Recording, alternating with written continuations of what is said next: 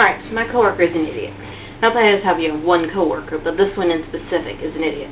So we have this flooding that's been going on because of the tropical storm moving up the coast.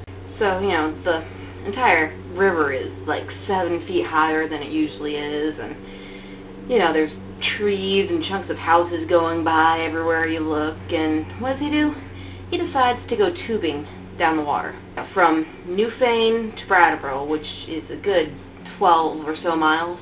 That's just driving straight. This is the river that curves around everywhere. And so yeah, he thinks it's a good idea to go tubing on the river, seven feet higher, trees floating by him. I I leave my uncle's house because I went up there because I had no power because my street flooded. I'm walking back from my uncle's house and I see, you know, a moron walking up the street in a wetsuit holding an inner tube and I was like, oh my god, that can't be him. That can't be. And it was.